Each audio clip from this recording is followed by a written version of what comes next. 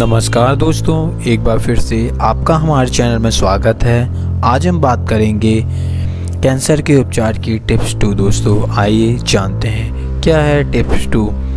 निरंतर चल रही शोध से ज्ञात हुआ है कि भोजन में पाए जाने वाला रसायन बीटा कैरोटीन कैंसर को नष्ट कर देता है। बीटा कैरोटीन पाया जाता है इन सब्जियों में। दोस्तों, आइए जानते हैं। साबुत दाल पत्ता गोभी फूल गोभी गाजर, नींबू, मौसमी परिवार के फलों में बहुतायत मिलता है दोस्तों।